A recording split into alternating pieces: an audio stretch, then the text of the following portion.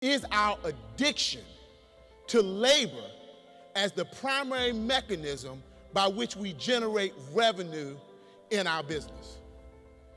Now, that is not to say that working hard is not a good thing. That's not to say that working hard doesn't have merit. But we work hard in so much as to perfect our knowledge.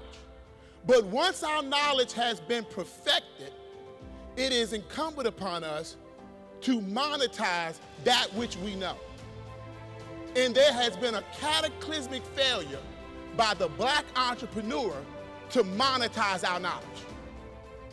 Now, somebody, anybody, everybody, ask me why. Because since the days of slavery, we have been rewarded for our labor.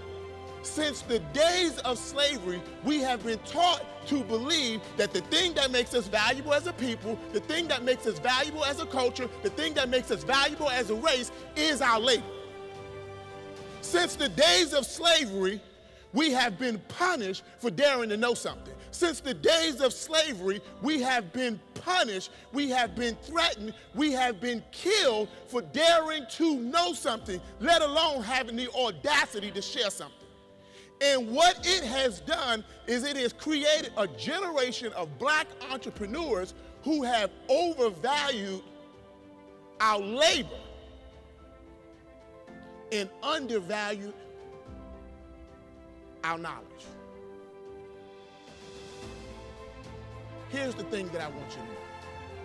I want you to repeat after me. There's more money in what I know than what I do.